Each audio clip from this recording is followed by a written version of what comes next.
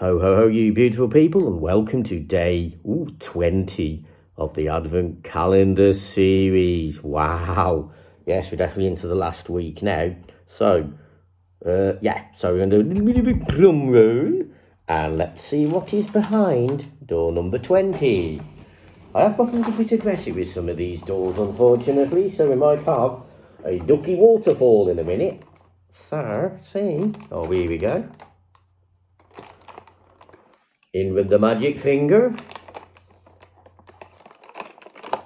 Into the hole. Pause. Go. Hopefully I've just opened up the correct one. Here we go. Really gently.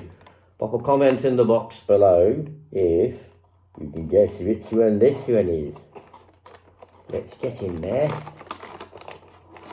Ooh, hello. Oh, hello see if I did get 20 out. Yes, I did. Oh, look at that. He's got a little, he's got a little Santa's hat on as well. Look at that. Looks just look like me. It? Yeah. Just looks a bit like me. There you go.